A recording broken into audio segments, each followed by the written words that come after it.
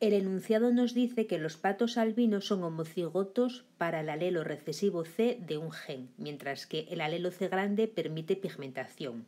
Los patos homocigotos para el alelo recesivo B de otro gen son de color amarillo, mientras que los que presentan la B mayúscula, el alelo dominante, son negros.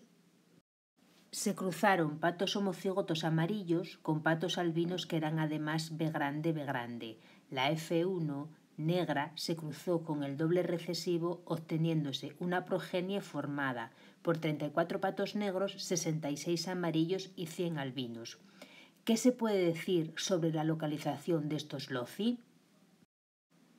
Si los genes fueran independientes, esperaríamos igual proporción de todas las combinaciones genotípicas, de modo que tendríamos 50 patos negros, 50 patos amarillos y 100 patos albinos, pero los números no son los que obtenemos. Los genes están ligados, estos patos negros van a producir cuatro tipos de gametos. En mayor proporción los gametos parentales B grande, C pequeña y B pequeña, C grande y en menor proporción los gametos recombinantes B grande, C grande y B pequeña, C pequeña. Como los patos albinos solo producen gametos B pequeña, C pequeña, las clases genotípicas que se van a formar son las que están en este cuadro.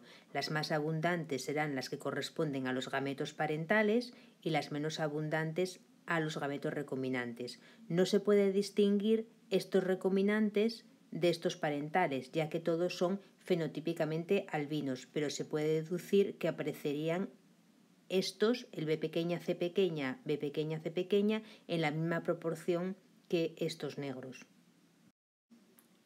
Podemos estimar la frecuencia de recombinación como el número de gametos recombinantes partido por el total, de forma que estos dos genes están situados a una distancia de 0,34 centimorgans.